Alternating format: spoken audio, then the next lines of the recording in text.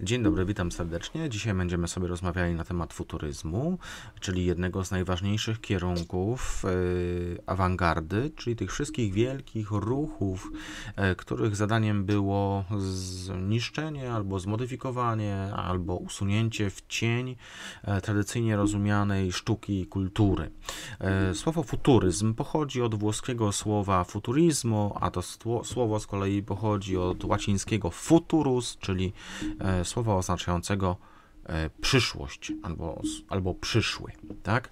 No dobra, e, futuryzm kojarzymy z dwoma krajami. Przede wszystkim kojarzymy z Italią, czyli z Włochami i kojarzymy z Rosją, a potem ze Związkiem Radzieckim. E, jeżeli Związek Radziecki jakoś tak nie jest e, super mocno zakorzeniony w naszej świadomości kulturowej, jako taka dosyć e, czytelna przestrzeń znaczeniowa, symboliczna, to Włochy, Italia jednak tak, no przecież gdzie narodziła się kultura antyczna, albo przynajmniej gdzie bardzo mocno zapuściła ona swoje korzenie, no przecież we Włoszech, skąd pochodzi Horacy, skąd pochodzi Dante, skąd pochodzą mistrzowie sztuki renesansowej. No przecież z, z, z, Italii, no więc Italia jest krainą, w której pojawiały się i y, stworzyły swoje podwaliny te dzieła sztuki, te kierunki, może o, powiem tak, te kierunki w sztuce, e, które łączymy z, e, z absolutnymi klasykami. A tutaj we Włoszech pojawia się niejaki Tommaso Marinetti, którego można nazwać papieżem futuryzmu i to właśnie on w 1909 roku publikuje manifest futurystyczny, w którym bardzo radykalnie ustawia się w stosunku do całej przeszłości, tradycji i i e, takich konserwatywnych systemów wartości. No więc tak, futuryzm postuluje przede wszystkim walkę z tradycyjnym systemem wartości i autorytetami obecnymi w każdej dziedzinie e, sztuki, no ale podejrzewam, że również w każdej dziedzinie życia. E, futuryzm jest zafascynowany energią, którą przyniosła nowoczesność związana z oczywiście różnego rodzaju odkryciami E, naukowymi, cywilizacyjnymi, przemysłowymi, które pojawiły się na przełomie XIX i XX wieku. E, futuryzm był zafascynowany techniką i cywilizacją, nowoczesnością e, i masowością życia w wielkim mieście. Futuryści nawoływali do nie dającego się zatrzymać buntu przeciwko konwen, konwenansom, y, konwenansom obyczajowym i artystycznym. Nawoływali do zniszczenia wszelkiego rodzaju instytucji, które zajmowały się e, przechowywaniem i utrwalaniem E, przeszłości, czyli e, futuryści najchętniej spaliliby, spaliliby biblioteki albo wynieśli z nich książki i urządzili w tych bibliotekach dyskoteki. Futuryści najchętniej by pozamykali muzea e, albo pozamieniali je w jakieś fabryki produkujące samochody.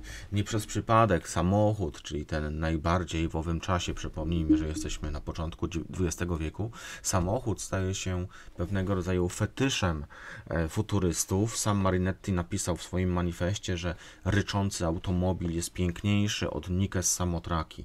O ile wtedy mogło to brzmieć bardzo prowokacyjnie i tak bardzo obrazoburczo i ktoś, kto ma taki mm, gust dosyć mieszczański, mógłby się poważnie zdenerwować, to dzisiaj, gdy sobie popatrzymy na historię automobilizmu, to mm, być może mm, znajdziemy informację o tym, że pierwsze samochody, które pojawiały się na e, drogach na początku XX wieku, no, osiągały oszałamiające prędkości, czyli jeżeli taki samochód rozpędził się do 25 km na godzinę albo do 30 km na godzinę, to już ho, ho, ho, to już naprawdę e, normalnie prędkość światła, prawda?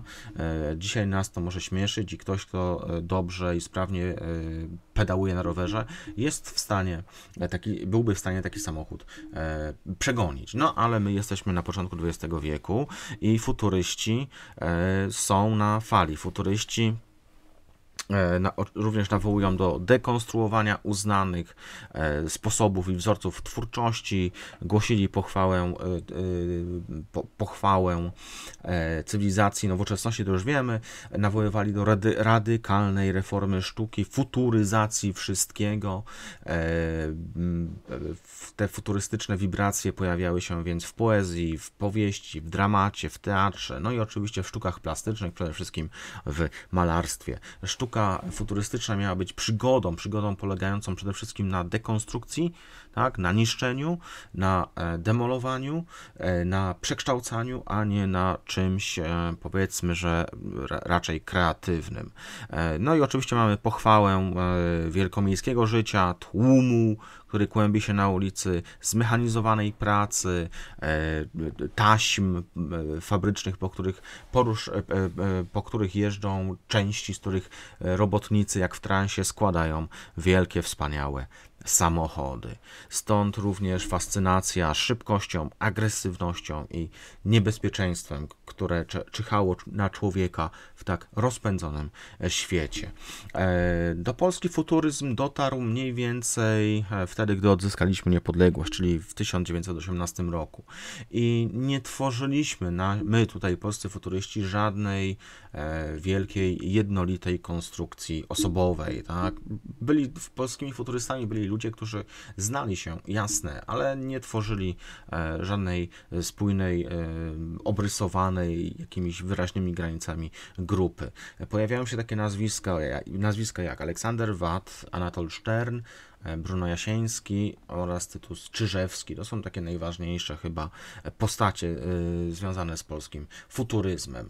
Y, polscy futuryści chyba tak samo jak futuryści, jak futuryści w Związku Radzieckim albo w Rosji, tak, no bo tutaj mówimy o w sumie dwóch różnych państwach, byli, e, polscy futuryści byli e, zdecydowanie lewoskrętni, to znaczy mieli serce po lewej stronie i dosyć mocno, e, mocno byli zafascynowani socjalizmem, być może nawet komunizmem, rewolucją, e, tymi radykalnymi ruchami, które miały możliwość e, takiego gwałtownego przemodelowania rzeczywistości. Bruno Jasieński, no jeden z moich ulubionych poetów dwudziestolecia międzywojennego, e, do tego stopnia się zafascynował komunizmem, że nawet zmienił obywatelstwo na radzieckie, no ale spotkała go w związku z tym bardzo, bardzo, bardzo niemiła sytuacja. Można sobie sprawdzić, w jego biografii, że miłość do komunizmu nie dała mu niczego sympatycznego. E, polscy futuryści przede wszystkim działali w oparciu o skandal. To, było dla ni, to, to, była dla, to był dla nich tlen i woda, e, chleb powszedni. Polscy futuryści przede wszystkim znani byli z bardzo skandalizującego sposobu traktowania języka polskiego. A to znaczy, że zachęcali do tego, żeby całkowicie przemodelować polską ortografię i pisać nie tylko wiersze, ale też pisać w ogóle w taki sposób, w jaki słyszymy. E, stąd też w tekstach, e, w tekstach e, będących teoretycznymi wypowiedziami polskich futurystów pojawiały się wezwania do tego, żeby całkowicie odrzucić zdobycze polskiej ortografii i zapisywać wszystko w taki sposób, w jaki sposób słyszymy. Stąd też, gdy ukazała się jednodniówka nazywająca się albo mająca tytuł Nóż w brzuchu. To słowo nóż jest zapisane przez U otwarte, a słowo brzuch przez samorzet e, i samo H.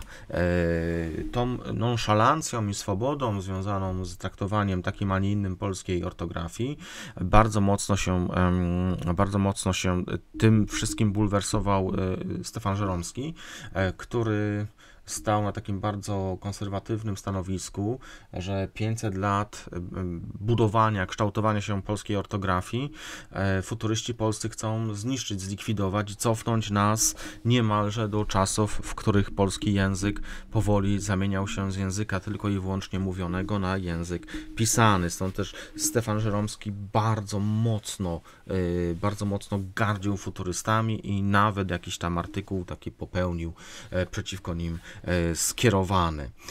Polscy futuryści żądali oczywiście futuryzacji życia, to znaczy wprowadzenia w życie ich potężnych ideałów, no to już my wiemy jakich, przed chwilą o tym mówiłem. Jasieński, żeby zadośćuczynić, żeby zadośćuczynić strategii skandalu, postulował, żeby wozić na taczkach mumię Mickiewicza i Słowackiego niekoniecznie e, szanował tych e, twórców, tych poetów, ponieważ widział w nich e, nie szlachetną tradycję, ale balast, który należy obalić, e, balast, który, należy zostawić gdzieś, wy, wyrzucić na śmietnisko historii i zająć się tym, co jest tu, teraz i dużo bardziej e, bliższe współczesnemu człowiekowi.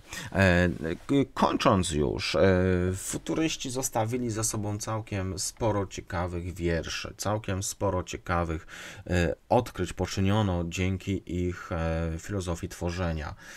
Najbardziej znane są oczywiście wiersze Bruna Jasińskiego. Ja w kolejnym materiale przynajmniej postaram się omówić But w butonierce, a być może również żygające posągi. E, co jest bardzo charakterystycznego dla poezji futurystów?